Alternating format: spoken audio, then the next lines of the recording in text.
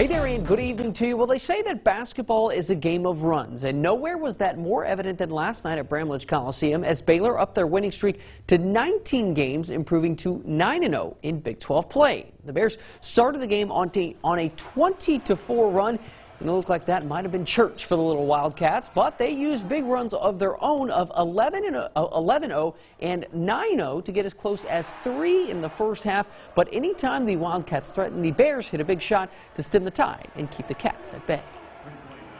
We got some guys that uh, uh, mentally tough to when you play on the road in the Big 12. If you're not mentally tough, you got no chance. And we got some guys that are mentally tough, physically tough, and it doesn't guarantee you're going to win, but it gives you a chance. And uh, credit the players for really uh, persevering. The, the, louder the crowd gets, the better we play. It's a talented league. Uh, they have a lot of good players on their team, and um, they showed up. We're, I mean, we're a pretty good team, and they showed up tonight against us. So, uh, tribute to them.